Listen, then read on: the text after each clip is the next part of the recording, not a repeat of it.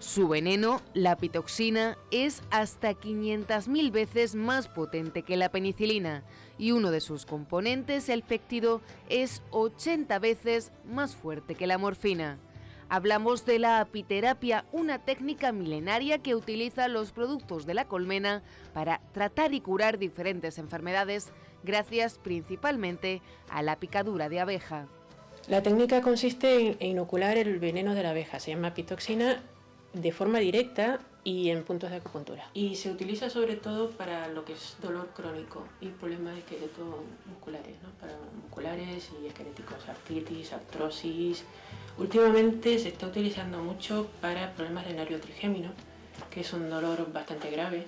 Una terapia que aunque puede ser un poco molesta, es realmente eficaz para tratar afecciones musculares y enfermedades como el VIH, el Parkinson, la diabetes e incluso el cáncer.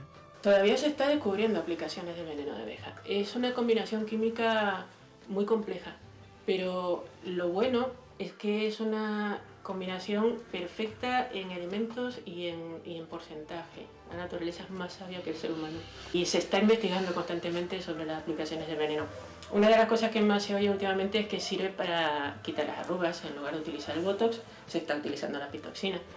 Pero lo más interesante resulta en las aplicaciones que se está haciendo contra el VIH y el cáncer. Jean-Pierre lleva más de tres años tratándose con apiterapia. Los hombros me duelen, este pulgar ya quiero que me pique aquí porque hay un punto concreto que un día me lo torcí y eh, ahora tengo artrosis, también y me alivia mucho.